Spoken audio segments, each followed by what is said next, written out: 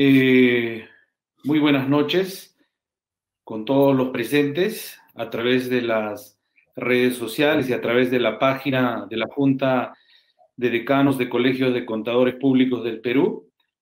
Eh, agradeciendo este espacio al presidente de la Junta, a Jorge Velasco, y también al presidente del Comité Técnico Nacional de Investigación Contable, eh, y la presencia, pues, de Osmani Pérez, eh, quien es del Ecuador. Bueno, él ha nacido en Cuba, pero actualmente radica en el Ecuador. Eh, vamos a dar inicio a este segundo webinar que tiene que ver con el tema de investigación, las perspectivas, las tendencias de las investigaciones contables desde el punto de vista de la universidad, el Estado, la sociedad y las organizaciones empresariales. Eh, Osmani Pérez es un connotado investigador. Eh, él es este, eh, de Cuba, pero radica en el Ecuador. Actualmente es profesor principal de la Pontificia Universidad Católica de Ecuador. es coordinador del área de investigación. También tiene mucha experiencia como investigador en el área de gestión, contabilidad de gestión.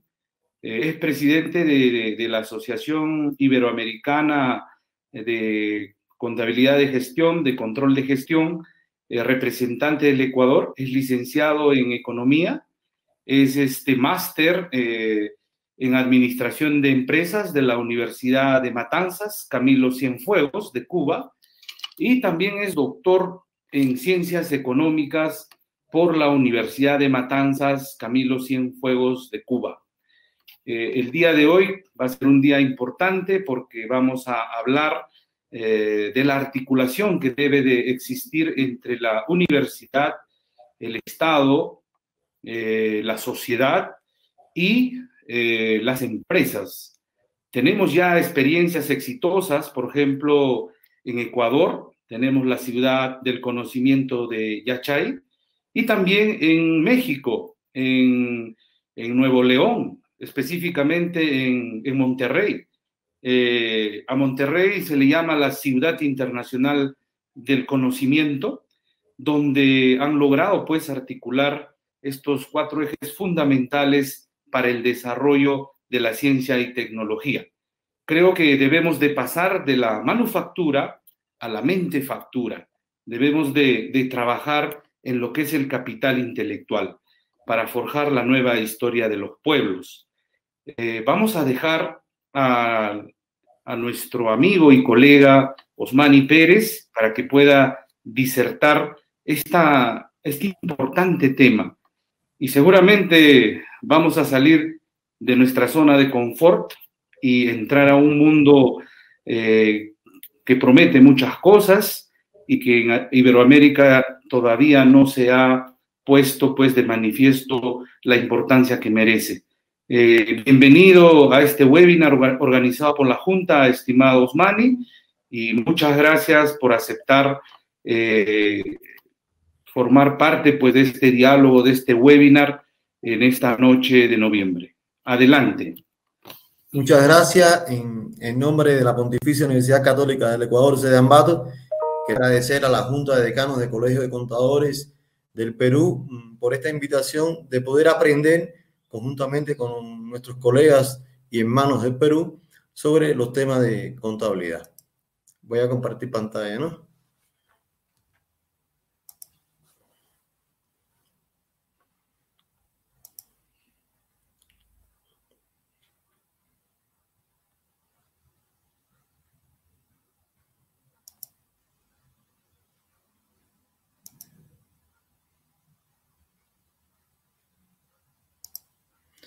Creo que se ve perfectamente, ¿verdad? Perfecto. Entonces, esto es para mí un encuentro muy, muy importante de, entre, de la profesión contable de Perú-Ecuador, en el 2020, donde nuestro tema es desarrollo de las investigaciones contables desde la perspectiva de la Universidad de Estado Sociedad en la solución de los problemas de las empresas eh, u organizaciones. ¿no? En este caso, mm, la investigación en la profesión contable, enfoque y oportunidades para su desarrollo desde una perspectiva, bueno, de, Ecuador, de Cuba y de la Asociación Iberoamericana de Control de Gestión, mm, a través de la institución de la Pontificia Universidad Católica del Ecuador, ¿no? Pues si alguien desea, ahí están nuestros datos, ¿no? ¿Por qué investigar en las ciencias contables?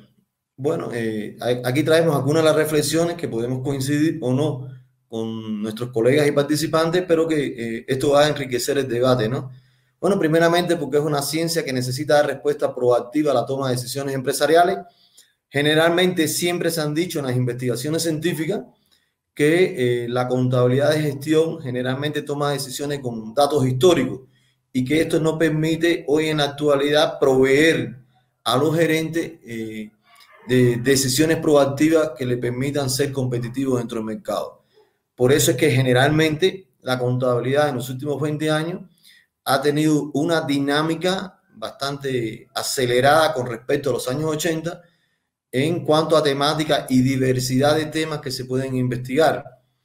Eh, y así dar respuesta a muchas inquietudes, sobre todo, por ejemplo, de la profesión de los ingenieros industriales, que ellos plantean mm, que con la, la contabilidad de gestión no es necesaria para tomar decisiones dentro de una organización. Esto un poco que contradice eh, la formación de nuestros colegas, de nuestros estudiantes y la preparación de nuestros especialistas para aportar en cada una de las organizaciones. Bueno, porque se necesita también de un desarrollo práctico tan acelerado como el desarrollo teórico alcanzado para dar solución efectiva a la práctica empresarial. Y aquí me voy a detener en algo, en que realmente si nosotros revisamos en toda Latinoamérica las investigaciones que se realizan desde la formación contable, muchas quedan archivadas. ¿Y por qué muchas quedan archivadas? Y por eso es que se dice que siempre ha alcanzado un desarrollo más acelerado desde el punto de vista teórico que práctico. Pues sencillamente eh, nuestro, mm, nuestra región, ¿verdad? En nuestro continente, eh, América sobre todo, y la parte latinoamericana, e incluso más aún América del Sur, pues casi el noventa y tantos por ciento de las empresas son micro, pequeñas y medianas empresas. Y esto trae consigo que muchos de, sus emprendedores que logran ser ya empresas, que logran ser gerentes, pues sencillamente han tenido una formación empírica, lo cual ha limitado mucho eh, el que se ponga en práctica muchas de las investigaciones que se llevan a cabo de las universidades.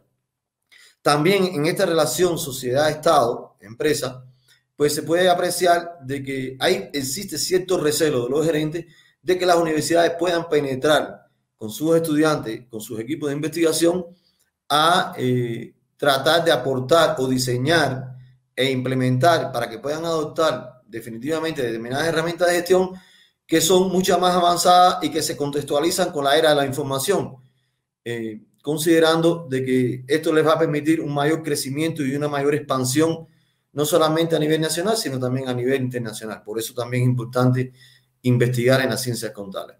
Asimismo, es importante para dar respuesta a los fenómenos o problemas empresariales en todas sus eh, disciplinas de manera integrada.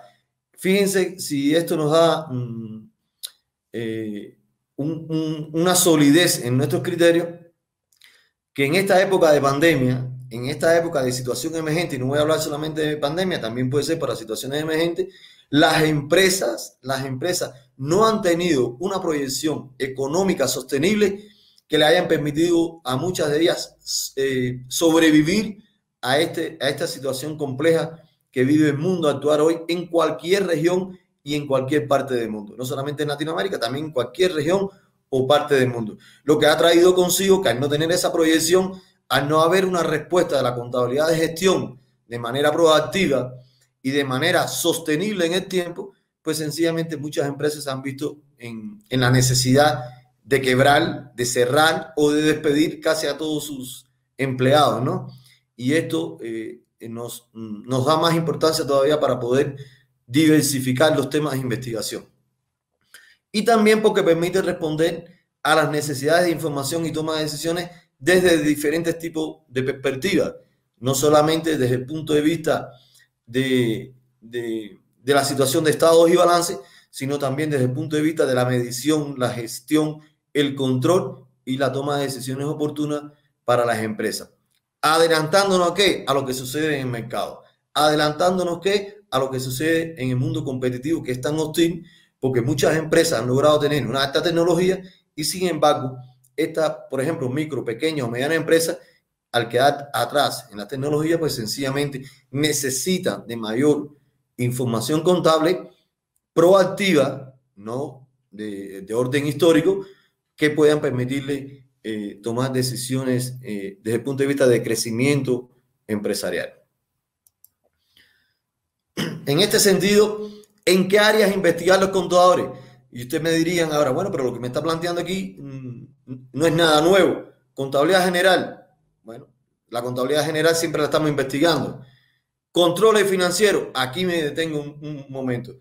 Tanto es así que eh, en los últimos tiempos, aproximadamente hace unos cinco años, el papel del control financiero va más allá, va más, allá de lo que hace un contador general o financista y que un contador de costos. Entonces, el control financiero viene siendo esa figura intermedia que más allá de consolidar información dentro de las organizaciones, pues forma parte o, es el brazo derecho de gerente para tomar decisiones. ¿Qué quiere decir esto?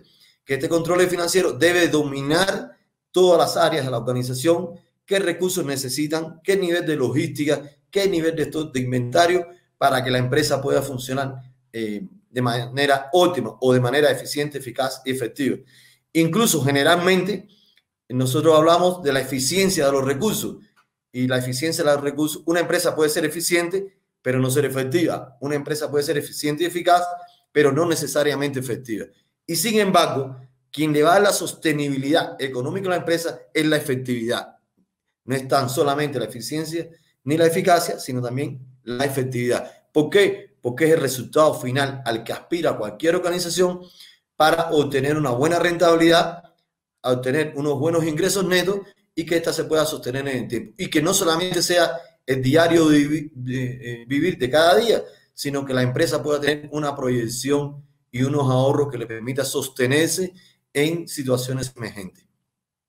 El control de gestión, muy poco se ha, se ha hablado desde la contabilidad del control de gestión y el control de gestión va más allá de los indicadores financieros, también incluye a los indicadores económicos de una organización. Yo creo que un contador necesita saber cuál es el comportamiento también, disculpe, de los indicadores económicos para conjuntamente con los indicadores financieros ver su eh, comportamiento, su equilibrio dentro de la organización, pues tomar decisiones eh, en las empresas.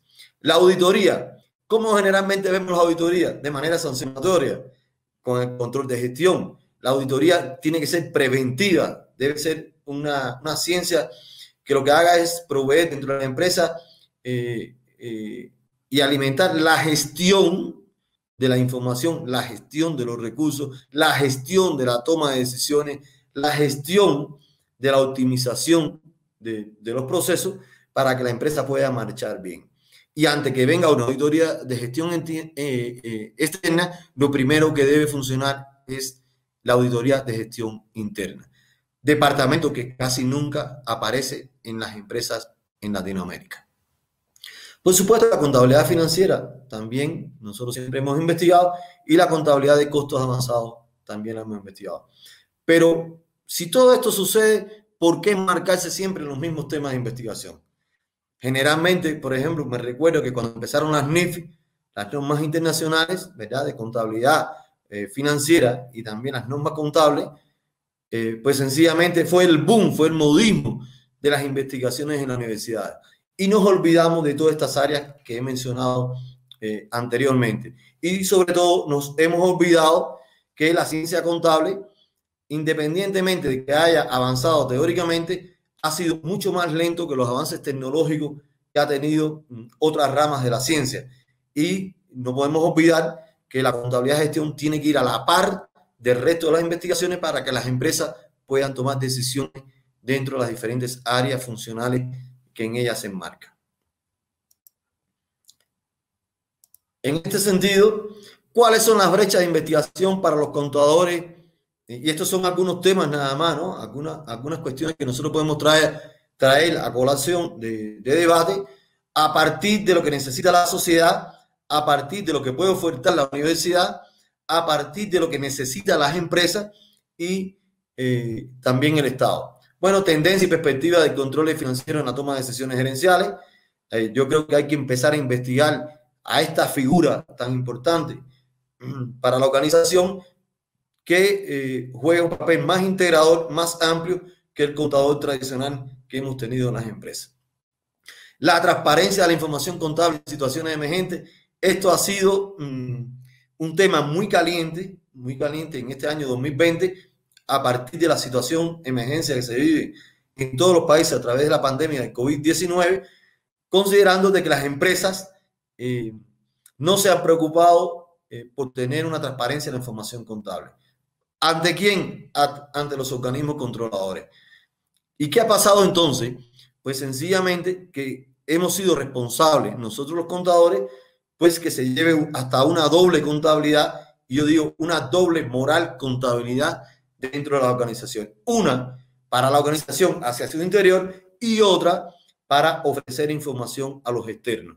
Esto no es correcto, esto no es ético, considerando de que una de las primeras asignaturas que se recibe en la universidad, en la ciencia contable, es precisamente la ética del contador. Tendencia y perspectiva de la responsabilidad social contable en las organizaciones. Yo creo que este es un tema que también viene a, colación. ¿Por qué? Generalmente nosotros investigamos lo que ocurre diariamente en las organizaciones y nosotros decimos, eh, Oscar eh, en mi presentación hablaba de, de la gestión de los intangibles. Sin embargo, todos hablamos de manera teórica que los intangibles es el mayor valor que tiene una organización. Sin embargo, hoy las empresas no aparece, no aparece la determinación, la identificación, el cálculo y el análisis del valor que aportan los intangibles en las empresas eh, productivas o de servicio. Entonces, ¿esto qué quiere decir? Que nosotros tenemos una responsabilidad social de verdaderamente llevar a cabo eh, eh, una información mm, responsable dentro de las organizaciones. Se habla, por ejemplo, de la contabilidad medioambiental. Hoy ni tan siquiera aparecen partidas o elementos dentro de los sistemas de cuenta que nos conlleven a decir cuánto han avanzado las empresas, por ejemplo, desde el punto de vista de la contabilidad ambiental, cuántos, eh, cuánto ha sido la proyección de la, eh, de la gestión medioambiental de las empresas, cuánto le ha costado, cuánto es el presupuesto que destinan a esto para que eh, nuestra sociedad, nuestras empresas sean responsables socialmente en el cuidado del medio ambiente. Y los contadores tampoco hemos sabido aprovechar, ¿verdad? O no hemos sabido crear las cuentas y las partidas que pueden tener desde el punto de vista de la contabilidad. Y la responsabilidad social contable no es solamente eso, sino que también debemos ser responsabilidad social contable desde el punto de vista de ser transparente en la información. Entonces son temas que nosotros hoy podemos volcar desde la universidad hacia las empresas para estas cosas. A tal extremo ha llegado esto en Latinoamérica y sobre todo en Sudamérica, en algunos países, de que los empresarios de las pequeñas y medianas empresas no tienen departamento de contabilidad, no tienen contadores fijos. Lo que hacen es contratar los servicios de contabilidad para que solamente tributen la información a los organismos controladores y no la información verdadera o real de la empresa, sino la información que les conviene a ellos para mm, tratar de evadir determinados impuestos dentro de las organizaciones. ¿Esto qué afecta? La imagen del contador y nosotros pensamos que estamos ganando un dinero. Sí, no estamos ganando un dinero que no es honesto, que deteriora la imagen del contador, fíjense por dónde voy también, y donde eh, nos hace menos creíble ante los empresarios. Estos son temas bastante calientes, ¿no? pero que están ocurriendo hoy en la realidad. Otro de los temas o brechas de investigación pueden ser los desafíos de la gestión contable en la nueva era de la información. Si nosotros sacamos cuenta de el promedio de edad de los contadores en Latinoamérica o en Sudamérica, verán que no tenemos muchos contadores jóvenes. A pesar de que las personas se están graduando de contadores, muchos no ejercen esta función. Entonces, eh, necesita, necesita y yo, yo no estoy eh, eliminando a las personas mayores, de hecho yo lo soy, ¿no? ya yo tengo ya 51 años, ahorita casi que me jubilo, pero sí digo que necesitamos de que la juventud tome la batuta eh, con un ejemplo de ética del contador en la responsabilidad eh, de la nueva era de la información. Somos resistentes, muchos de los contadores, a utilizar la tecnología en las ciencias contables. De hecho, se investiga muy poco desde la universidad para las empresas, para la sociedad, para el Estado, desde el punto de vista de crear herramientas tecnológicas contables que permitan mm, desarrollar y, aportar información más acelerada, más rápida para la toma de decisiones en las empresas. Otro tema puede ser contabilidad y sostenibilidad económica en el tiempo para las empresas. Esto nos da la razón de lo que está pasando hoy, como yo les comentaba. Hoy las empresas no están preparadas eh, sosteniblemente para perdurar en el tiempo en una situación tan compleja como la que estamos viviendo. ¿Por qué? Porque nunca eh, la figura del contador dentro de la organización ha sido proactiva para crear eh, en el tiempo, eh, pues sencillamente mm, un espacio donde la empresa pueda ahorrar verdaderamente y no vivir de día a día, que la haga sostenerse en la vida. Otro tema es gestión y control del sistema económico financiero y su incidencia en la sostenibilidad de las organizaciones. Muchas veces nos, nos vamos por eh, el cálculo de determinados indicadores que ya sabemos eh, que, se utilizan, eh, índice de solvencia, índice de liquidez, rentabilidad. Sin embargo, sin embargo, no estudiamos el capital de trabajo, muchas de las carteras vencidas y determinados temas que son importantes para, para las empresas. El papel, fíjense, ya hablé de la tendencia y la perspectiva del control financiero y fíjense si esto está en auge, que también hay una brecha que es el papel del control financiero ante las nuevas tecnologías y sistemas de información. Esta nueva figura integradora que forma parte de un colectivo contable, pues puede proveer eh, de mayor herramientas a, las diferentes áreas de la organización para que puedan tomar decisiones de manera integrada, no de manera aislada. Eh, y esto, ¿por qué lo digo? Muchas veces las empresas quieren funcionar, quieren obtener resultados y sin embargo, ni tan siquiera los empleados conocen la situación que tienen las empresas en su funcionamiento, desde el punto de vista financiero, desde el punto de vista tecnológico y desde el punto de vista informativo. Pueden ser también modelos y procedimientos de control de gestión para la administración financiera en las organizaciones. Eh, muchas veces hablamos de lo, por, ejemplo, de los modelos y sistemas de gestión y costo basados en actividades y sin embargo simplemente quedan las investigaciones teóricas, pues ni tan siquiera nos preocupamos eh, los empresarios por tratar de tomar estas herramientas que investigan hoy las universidades. ¿Realmente los campos de investigación están agotados para los contadores? Evidentemente, por lo planteado hasta el momento, no. ¿Qué tenemos que hacer los profesores eh, en las universidades? Pues salirnos un poquito del espacio de las aulas. No se concibe un profesor que pueda orientar las investigaciones de las universidades si no conoce la realidad de, las empresas, si no conoce la realidad de las organizaciones, si no conoce la realidad del mercado. No podemos ser profesores de pizarra, tenemos que ser profesores docentes con conocimiento práctico de lo que ocurre en las empresas.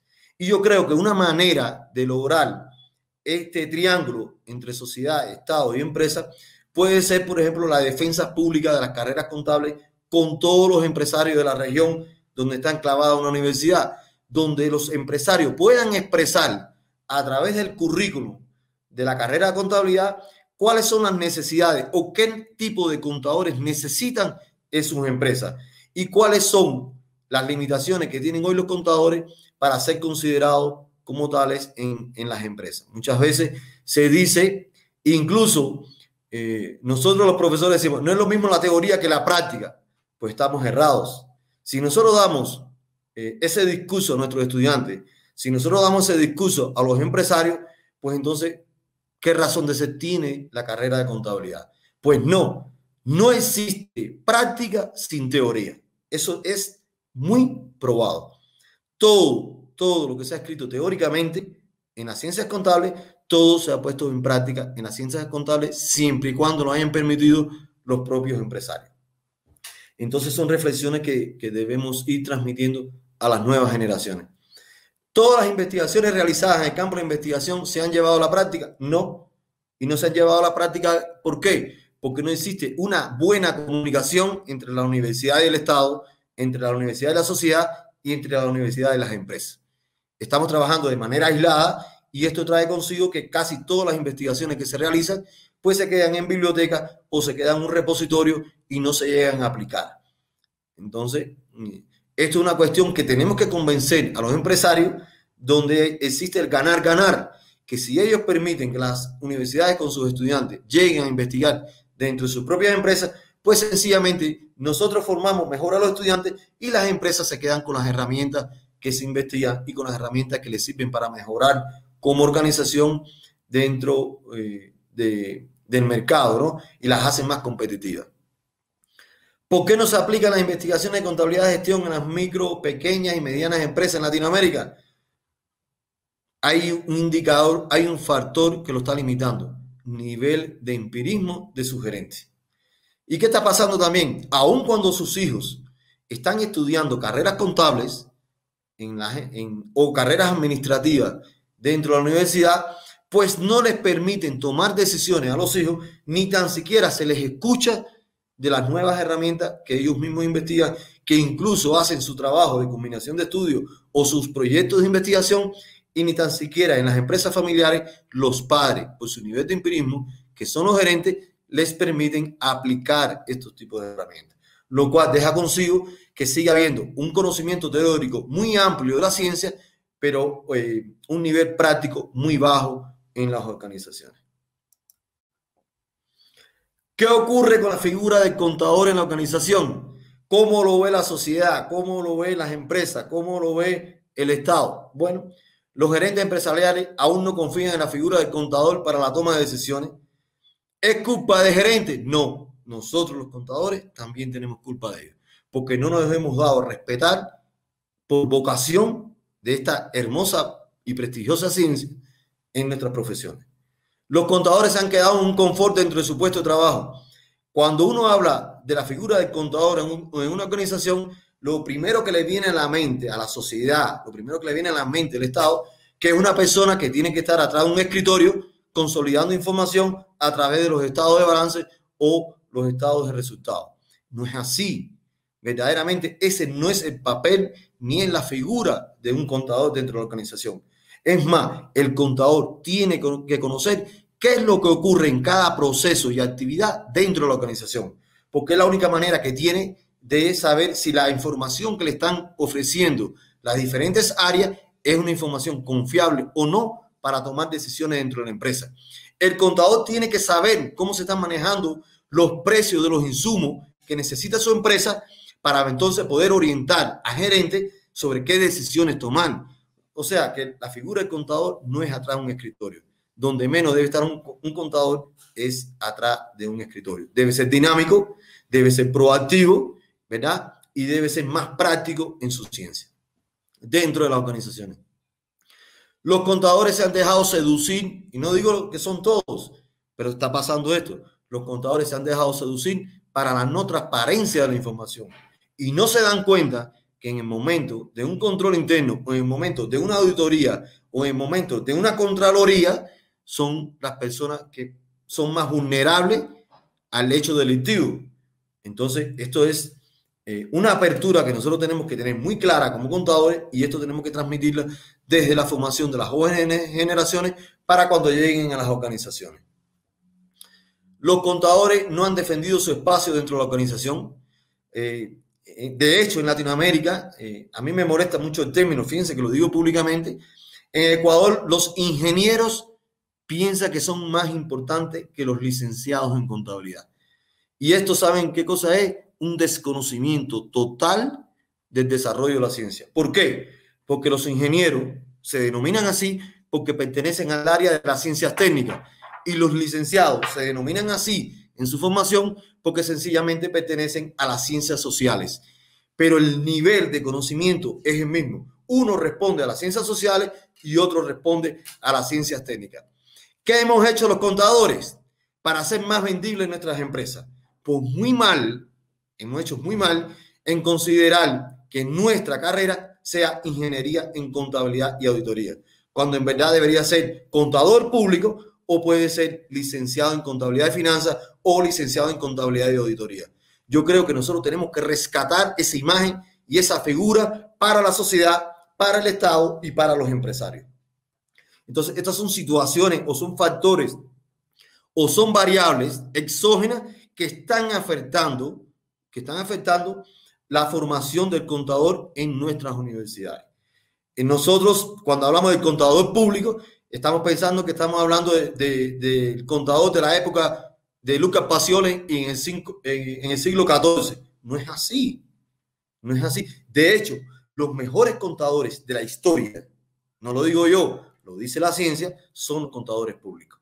Entonces, yo creo que hay que rescatar esto desde el punto de vista de la investigación. Los contadores mmm, deberían responderse si verdaderamente han realizado una carrera por vocación, por inducción o por estudiar una carrera universitaria. Yo creo que esto es muy importante. Yo creo que de la misma manera, de la misma manera que para estudiar medicina se hacen exámenes de vocación, que de la misma manera para estudiar arte y literatura se hacen exámenes de vocación, que para la misma manera que para estudiar historia o para estudiar determinada ciencia se hacen exámenes de vocación, yo creo que tenemos que rescatar o al menos empezar a utilizar en la carrera de contabilidad exámenes de vocación, porque eso va a garantizar cantidad de contadores, pero si vamos a lograr mejores contadores para la sociedad, mejores contadores para la empresa. ¿Por qué ocurre todo esto? ¿O por qué ocurre todo ello que hemos conversado? Bueno, los contadores son los profesionales que menos actualizan y participan en los eventos y congresos donde se habla de su propia especialidad. Esto es un problema. Si nuestros contadores que están en las empresas no participan en congresos y eventos, pues no, no se actualizan de lo que está pasando en el resto de la ciencia, que donde la contabilidad no está aislada. La contabilidad es parte sistémica del resto de la ciencia. Donde los avances de contabilidad sencillamente no nos vamos a enterar porque se discuten entre profesionales, entre doctores, entre mate, entre profesores, entre investigadores, pero que se necesita en este espacio de debate la figura del contador empresarial. O sea, la figura el empresario que estudia, que trabaja la contabilidad, pues debe estar en estos eventos para que pueda aprender, pero también para que pueda aportar de su experiencia cómo mejorar tecnológicamente, cómo mejorar en la parte de la gestión de la contabilidad. Y yo creo que también en estos eventos se enriquecería mucho más el conocimiento de las ciencias contables para la formación de todos, de pregrado y posgrado y profesionales. Los contadores en ocasiones no se, no se mueven de sus escritorios, esto yo lo conversaba con ustedes ya, con lo cual desconocen lo que ocurre en el resto de las áreas de la organización. Esto es fatal para un contador. ¿Por qué? Porque entonces el contador consolida información según lo que le dicen y no solo lo, según lo que él conoce de lo que está pasando en la empresa. Entonces, estamos hablando de una eh, toma de decisiones contables que no es proactiva. ¿Por qué? Porque no estoy eh, sabiendo qué está pasando, si existen despilfarros, si hay un cuello de botella, si eh, los insumos que se compraron son de segunda o tercera calidad y no de primera calidad, y esto aumenta los desperfectos de los productos. Y entonces, ni tan siquiera podemos evaluar a través de los ingresos y ventas, que son números fríos, que son números cuantitativos, qué es lo que ha pasado realmente en la empresa y dónde tenemos que tomar la decisión. A lo mejor la decisión no es en el mercado, a lo mejor la decisión es que los productos no están saliendo con calidad y eso el contador tiene que determinarlo. Entonces, son cuestiones que tenemos que tener un contador con una mente mucho más amplia. Los contadores se han convertido en entes pasivos dentro de las organizaciones a quedarse solo para recopilar información y realizar los estados contables y financieros. Así nos ve el gerente, así nos ve el jefe de producción, así nos ve el jefe de calidad, así nos ve la sociedad, así nos ve nuestros familiares, Así transmiten los profesores a sus alumnos y esto está trayendo consigo, eh, consigo que sepultemos, sepultemos en una tumba a la contabilidad. Y yo creo que nosotros, la responsabilidad de nosotros es formar a los jóvenes con calidad, con tecnología, con conocimiento, con transparencia, con ética. Los contadores no profundizan en sus análisis e interpretaciones para la toma de decisiones en las organizaciones. De hecho, ni tan siquiera participan muchas veces en los consejos directivos de las empresas. Un error, si yo fuera gerente, a quien yo tuviera mi mano derecha con toda la información, con todos los análisis, con todas las interpretaciones y, con todas las alternativas, es al contador. ¿Por qué? Porque la persona que me va a proveer, me va a alertar de lo que está pasando en la empresa y hacia dónde tiene que ir a la empresa. Por eso es que muchas veces se ha convertido la misión y la visión solamente en, un eslogan. Las personas, usted le puede preguntar cuál es la misión y la visión y te la pueden repetir, pero no la saben interpretar. ¿Y dónde se traduce eso? Se traduce cuando se efectúa correctamente todos los procesos de la organización. La parte productiva, la parte contable, la parte de gestión. ¿Qué hacer para que los contadores tengan mayor oportunidades en cuanto a los... Eh, ¿Qué hacer para que los contadores tengan mayor oportunidad de desarrollo en su profesión dentro de las organizaciones? Actualizarse siempre en las últimas novedades que ocurren en su profesión en cuanto a los adelantos de la ciencia y la técnica ocurren. Esto es importantísimo. Yo, gerente, mandar constantemente actualizar a, menos una vez al año a mi contador, a determinados eventos. Incluso sería capaz de tener un presupuesto de talento humano, de la Oficina de Talento Humano, para que desarrollen maestría o para que desarrollen doctorado. De hecho, la, yo, eh, donde único no se ve esto mucho es en Latinoamérica, pero en Europa muchos de los empresarios, muchos de los empresarios estudian maestría, se preocupan por estudiar maestría en la contabilidad de gestión y también doctorado en la contabilidad de gestión. ¿Por qué? Porque es conocimiento que pueden aplicar después en las organizaciones y esto hace crecer a las empresas. No solamente desde el punto de vista del conocimiento, sino también desde el punto de vista de, la, de agregar valor a la empresa. Porque cuando una persona tiene mayor conocimiento, pues está agregando valor a la organización. Y esto trae consigo que la empresa sea más competitiva. Intercambiar conocimiento con otros profesionales, sean nacionales o internacionales, esto es importante. Esto que estamos haciendo hoy, para mí es una gran oportunidad compartir con Perú. De hecho, soy, tengo la nacionalidad cubana, como se decía, vivo en este momento en el Ecuador y estoy compartiendo con Perú. O sea, que es un triple conocimiento, lo impacto como cubano, ¿verdad? Eh, aprendo del Ecuador y también voy a aprender de lo que podamos intercambiar con los colegas del Perú. Demostrar que su labor es muy necesaria para la toma de decisiones efectivas en la organización y que va más allá de la entrega de información y balance. ¿Qué quiere decir esto? El contador se tiene que hacer sentir dentro de la empresa, no como una persona odiosa, no, no, no. No como una persona quisquillosa, porque así es como nos ven a los contadores. No, no, no. Es como una persona decisora dentro de la empresa. Como una eh, persona capaz de aportar en la toma de decisiones de la empresa. Capaz de aportar en conocimiento sobre lo que está ocurriendo en la empresa. Capaz de detectar los problemas que ocurren en el interior de la organización y lo que está pasando en el exterior de la misma. Entonces, eh, vean qué clase de importancia tiene nuestra formación contable desde las universidades para la sociedad, para las empresas y para el Estado. También buscar soluciones dentro de la organización desde el punto de vista de la gestión, planificación, medición y control de los recursos y su empleo óptimo. Esto es una responsabilidad del contador también. Y demostrar su transparencia, honestidad y ser impecable en su trabajo. A la única persona que no nos podemos dar el lujo que marquen o que señalen con un dedo es al contador, porque el contador debe ser la persona más confiable para un gerente en la toma de decisiones o para el buen funcionamiento de la empresa. Al menos yo lo veo así, ¿no? No quiere decir que eh, todo el mundo tenga este criterio, ¿no? Esto nos permite mm, reflexionar sobre algunas interrogantes que podemos debatir. Estamos formando los contadores de futuro a la par del desarrollo tecnológico pues tendríamos que analizar nuestros currículos, tendríamos que ver si estamos respondiendo a las necesidades de las empresas, a las necesidades del Estado para en la formación de los contadores, no solamente lo que piense un profesor, un escritorio haciendo una malla curricular, sino también retroalimentarnos eh, de lo que está pasando en la sociedad y de lo que necesita la sociedad. ¿Cómo se ve el contador como profesión en la sociedad? Yo creo que nosotros deberíamos investigar esto cómo perciben al contador, si solamente lo siguen percibiendo como una persona de escritorio o si lo pueden llegar a percibir como una persona muy importante y muy decisiva dentro de las empresas. La formación de los contadores en las universidades responde a las necesidades de las empresas e instituciones. Difícilmente, si no existe una comunicación entre el Estado, la sociedad y las universidades y las empresas, pues difícilmente nosotros respondamos a esas necesidades. ¿Qué área de una organización, eh, qué área de una organización productiva de servicios conoce el contador para desarrollar profesionalmente su trabajo?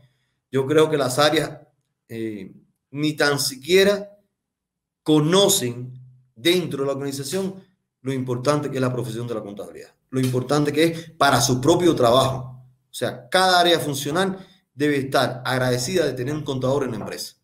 Yo creo que esto es muy importante que se empiece a conversar sobre esto. Y el Estado de la sociedad reconoce el valor de la figura del contador en la organización. Hoy yo puedo decir que en Latinoamérica se reconoce muy poco. Tenemos, fíjense, que al igual que otras profesiones, tenemos el Día del Contador. El Día del Contador en Cuba es el 26 de noviembre, dentro de dos días. El Día del Contador en Ecuador ya pasó. El Día del Contador de, Perú ya pasó. Tenemos un día para nosotros, ¿verdad? Pero solamente ese día se acuerda de los contadores. Tanto la sociedad como el Estado, como los propios empresarios. El resto de los 300 y tantos días del año, la figura del contador no se hace sentir. Yo creo que esto es importante que lo tengamos en cuenta. ¿Qué está pasando con nuestra profesión? En este sentido, quiero dejar dos pensamientos reflexivos, ¿no? A mí muchas veces no me gusta copiar lo de otra gente, más bien me gusta crearlo, ¿no? A partir de, la ciencia que investigo, ¿no?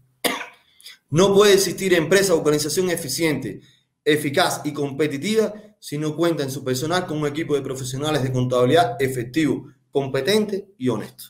Es una reflexión que hago, se las dejo a ustedes.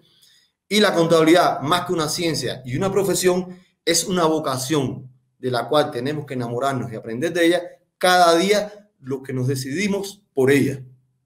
Entonces, las personas que hemos decidido ser contables, pues tenemos que honrar a esa profesión. No sé, Oscar, si me he pasado del tiempo. Eh, yo prefiero el intercambio también, pero creo que esto es lo, lo, que tengo para compartir con ustedes y que se puede enriquecer. Si hay alguna pregunta, alguna inquietud, algún otro criterio, porque yo también estoy aquí para aprender, no, no solamente para, para exponer. Muchas gracias. Eh, Oscar, no sé si me pasé de tiempo, ¿no? Sí, el tiempo está perfecto. Eh, muchas gracias a ti por tu disertación.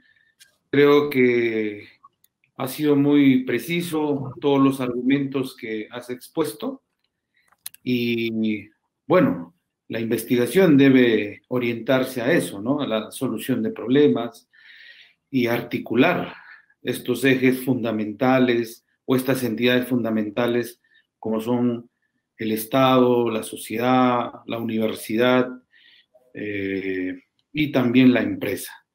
Tenemos algunas preguntas, ¿no? que han formulado eh, colegas de diferentes partes del Perú y del mundo. Vamos a empezar con la pregunta formulada por eh, Rómulo Rojas. Rómulo Rojas eh, pregunta, en ciencias contables, ¿las investigaciones son cualitativas o cuantitativas? ¿De tipo básica o aplicada? Bien, la contabilidad primero la voy a definir como una ciencia como bien está explícito, ¿no? Generalmente, generalmente, cuando el investigador mm, no quiere profundizar mucho en su ciencia, pues generalmente la utiliza en, en, el estudio lo que es la investigación cuantitativa. Lo que pasa es que la investigación cuantitativa muchas veces, que yo no la recomiendo mucho, mi criterio personal, yo no la recomiendo mucho para la ciencia contable, se convierte en una investigación que da muy poca información para hacer análisis y para tomar decisiones sobre lo que yo quiero proyectar o proponer para una empresa. Generalmente, ¿qué está sucediendo en el mundo? Que eh, se está convirtiendo en una investigación mixta, con un enfoque cuantitativo y con un enfoque cualitativo. ¿Por qué? Porque los investigadores se han dado cuenta que necesitan del criterio de las personas que participan en la investigación para poder hacer propuestas sólidas, herramientas sólidas que motiven a los empresarios a adoptar e implementar determinadas herramientas de gestión. ¿Qué quiere decir esto? ¿Qué quiere decir esto? Que nosotros tenemos que dejar de hacer investigaciones desde la universidad y hacer los diseños de las investigaciones en las propias empresas, implicando a todo el personal de la empresa. Porque nosotros podemos tener el mejor modelo de costo del mundo, pero si ese mejor modelo de costo del mundo no lo diseñamos en una empresa, no lo contextualizamos a esa empresa, no responde a las características de esa empresa, difícilmente se puede aplicar. Otra cosa es que muchas veces trabajamos investigaciones de modelo, sin embargo no le decimos a las empresas cómo ejecutarlo. Entonces dejamos eh, al 50% nuestra propuesta. ¿Qué quiere decir esto? Que cada modelo debe conllevar consigo un procedimiento de aplicación. Y cuando ya estamos hablando de modelos de procedimientos, también estamos entrando en el análisis cualitativo de la investigación, porque hay que analizar los factores o las variables que influyen en el éxito o posible fracaso que pueda tener el modelo en las empresas. Eso es lo que puedo. Excelente. Tenemos otra pregunta muy interesante de Gerardo Gómez, eh, sabiendo pues que nosotros hemos tenido una reforma universitaria eh, donde también se plantean tres cosas fundamentales, ¿no? La formación profesional, la responsabilidad social y la investigación.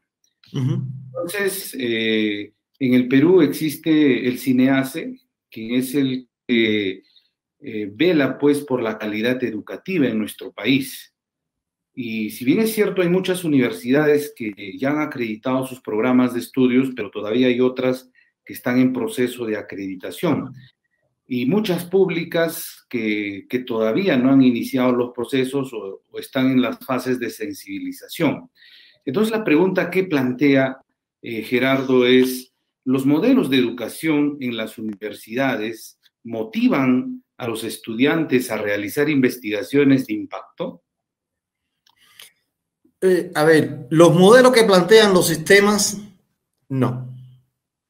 Voy a explicar por qué no porque ni tan siquiera dan financiamiento, ni tan siquiera, ni tan siquiera dan financiamiento, apoyan financiamiento para las investigaciones en las ciencias contables. Ahora, ¿dónde está la responsabilidad? Yo no trabajo, a mí no, a mí no me gusta trabajar para los modelos acreditativos. A mí me gusta trabajar para la formación integral de nuestros estudiantes, en las carreras contables o en las carreras administrativas. Por tanto, quien tiene que tener esa responsabilidad es la propia universidad. No importa lo que pueda pasar en el sistema de acreditación de la calidad de las universidades. Si yo como rector, si yo como decano, si yo como profesor de un aula, ¿verdad? Logro motivar a mis estudiantes en la investigación, en la formación y en la calidad de los procesos, pues sencillamente yo estoy contribuyendo a una mejor sociedad y a un profesional más integral. Entonces, ojo con esto. ¿Y por qué digo esto, Oscar? Estoy diciendo esto porque nosotros nos estamos preocupando muchísimo por los factores exógenos, que lo único que quieren es controlarnos y hacernos eh, sentir mm, controlados, controlarnos y hacernos sentir controlados a través de indicadores. Los indicadores son fríos. Imagínate que ahora eh, eh, los sistemas de educación, a lo mejor en Cuba, por ejemplo, y en Ecuador, ya no están siendo tan cuantitativos, están siendo más cualitativos. Ya le interesan más los criterios en los procesos formativos que los números. Ya interesan más la calidad que la cantidad que se pueda lograr en determinados números de cuestiones en la, universidad. Por ejemplo, ¿qué es más importante? Tener 360 artículos eh, publicados en cualquier tipo de revista o tener 200 artículos en revistas de alto impacto. Cuestionémonos eso. ¿Qué es más importante? Tener 150 proyectos de investigación desde la formación pregrado y posgrado, por ejemplo, y desde los docentes. 150 proyectos que no se apliquen ninguno en las empresas o tener 30 proyectos que resuelvan problemas en las empresas. Entonces, esa es la responsabilidad nuestra desde la calidad en la formación investigativa en, en las universidades. No podemos seguirle atrás a los indicadores. De hecho, cada vez que viene un gobierno de turno o cada vez que cambian un funcionario de los ministerios de educación o de los organismos controladores del Estado sobre las universidades, cambian los indicadores, cambian los modelos de acreditación y para la universidad es una locura seguirle eso. cuando nosotros conocemos que en la universidad existen cuatro procesos sustantivos, la gestión, la academia, la investigación y la vinculación. Entonces nosotros no necesitamos de, controles acreditativos, nosotros necesitamos cumplir con calidad con estos cuatro procesos sustantivos, es lo que puedo aportar. Muy bien, excelente la respuesta. Eh, y tiene razón, lógicamente acá en el Perú también tenemos un modelo que es el modelo del cineace y que se cambió, se cambiaron los estándares y también ya tenemos otros modelos para las ingenierías, ¿no? Pero sin embargo, hemos este, pasado por etapas como la etapa del licenciamiento en las universidades, las cuales han ayudado a ordenar a muchas universidades y se han cerrado muchas universidades de fachada, ¿no? universidades que no aseguraban la ¿no? Entonces, estamos en esa transición. Y bueno, es un tema debatible, debatible, eh, pero amplio, muy bien, pero excelente la respuesta. Todo empieza de nosotros, del cambio individual eh, y, la mejora continua eh, no sale del, del exterior, sino viene del interior de cada uno de nosotros. Y por último... Oscar, antes que me haga la pregunta, incluso relacionado con eso. Eh, este mundo de las universidades se mueve incluso muchas veces en determinados sistemas por dinero. Exacto. No por calidad. Hay universidades de garaje que les permiten ofertar doctorados. Y no quiera ver usted la calidad de los doctorados que ofertan. Sin embargo, hay universidades que tienen una altísima calidad y no les permiten tener programas de doctorado. Fíjate, fíjate qué clase de contradicción en los sistemas de acreditación de universidades. ¿Por qué? Porque existe la corrupción, porque no hay transparencia. Entonces, esos son elementos que, le estoy diciendo. Le voy a poner otro ejemplo relacionado con las empresas. ¿Quiénes inventaron las NIF y las NIC? ¿Quiénes? Los países desarrollados. ¿A quién le seguimos nosotros el juego? a toda esa gente. ¿Están preparadas todas las empresas para aplicar todos los indicadores que permiten estas normas internacionales? No. Y nosotros queremos medirle por la misma varilla a una gran empresa, a una transnacional, que a una pequeña, mediana o microempresa. Y no es así. ¿Por qué? Porque hay que contextualizar. Esto es un traje a la medida. Con eso finalizo. Muy bien, y por último, tenemos un par de minutos y no hay que dejar pues a nuestros seguidores y a los que han estado atentos a esta interesante charla.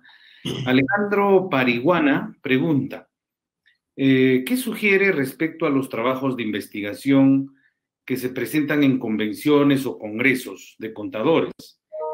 que son aprobados, pero sus conclusiones y recomendaciones no se implementan a nivel nacional. Ya, ¿ya terminó? Sí, ya terminó. Ya. Eh, relacionado con eso, hay que ver, usted hablaba de calidad, hay que hablar, hay que hablar de congresos y congresos. Ya puede ser también, porque hay congresos ahora. Hay congresos que buscan financiamiento, hay congresos que buscan esos, sin importar la calidad. Pero hay congresos que no tienen tanto trabajo, hay convenciones que no tienen trabajo, que verdaderamente son investigaciones científicas, pero que no se dan a conocer. ¿Y qué está pasando también? Que también tenemos culpa nosotros. ¿Dónde se están haciendo esas investigaciones? La mayoría de las investigaciones de, las, de los congresos se formulan desde las universidades, no desde la propia empresa. Si usted busca hoy las publicaciones de los últimos cinco años, usted se va a encontrar disímiles de investigación en la ciencia contable mm, teóricas, no prácticas. Por eso que se dice que se ha desarrollado muchísimo, muchísimo teóricamente, pero no práctica. ¿Cuáles son las empresas que han tenido resultados a partir de estas investigaciones? ¿Se conocen? Muy pocas. ¿Por qué no han triunfado determinadas herramientas? ¿Se conoce? Muy pocas también. Entonces, nosotros tenemos que convertirnos como en las ciencias médicas, por ejemplo.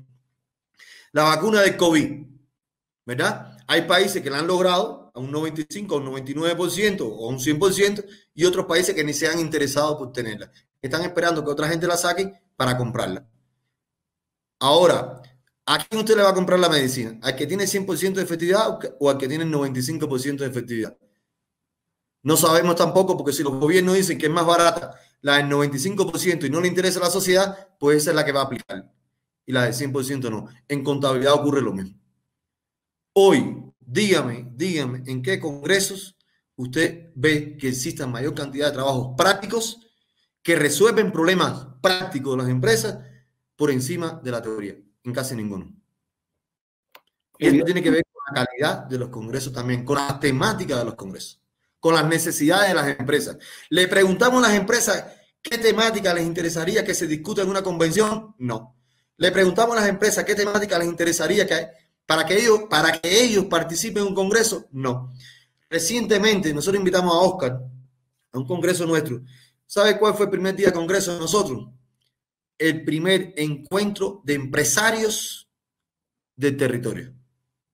O sea, fue solamente para empresarios. Ahí no hubo un solo contador. Ahí no, hubo un solo profesor ni un solo investigador. Ahí los investigadores, los profesores estaban eh, de público, de participantes, porque nosotros necesitamos escuchar a quien, a los que están en la práctica. ¿Para qué? Para entonces nosotros hacer las proyecciones como investigadores hacia las necesidades del territorio. Entonces esa es la experiencia que les puedo contar, ¿no? Pero eso lo logramos este año y estamos en el sexto, vamos para el sexto congreso. Este año hicimos el primer congreso de eso. Exactamente, es importante y necesario consultar a los grupos de interés, a las partes interesadas, a los constituyentes, para que las investigaciones pues tengan el verdadero valor que merecen. Eh, te agradecemos, Osmani, esperamos tenerte pronto otra vez y a nombre pues de la Junta de Decanos de los Colegios de Contadores Públicos del Perú, en nombre de, del Comité Técnico Nacional, del cual soy parte, eh, también agradeciendo a Gerardo Gómez, quien es presidente, y a todos los miembros de esta comisión que está promoviendo este tipo de actividades. Eh, eh, cerramos este espacio que ha sido muy importante y esperamos tenerte en otra oportunidad. Muchísimas gracias a todos los que han participado y también a los organizadores como Jorge Velasco, a Lupe, quien ha estado pues este, detrás de todo esto. Muchísimas gracias y hasta luego y hasta una nueva oportunidad. En nombre de mi universidad también quiero ser recíproco con el agradecimiento en nombre de la máxima dirección de la universidad y en nombre propio mío también, ¿no? Les agradezco muchísimo por esta oportunidad también. Muchas gracias y buenas noches para todos.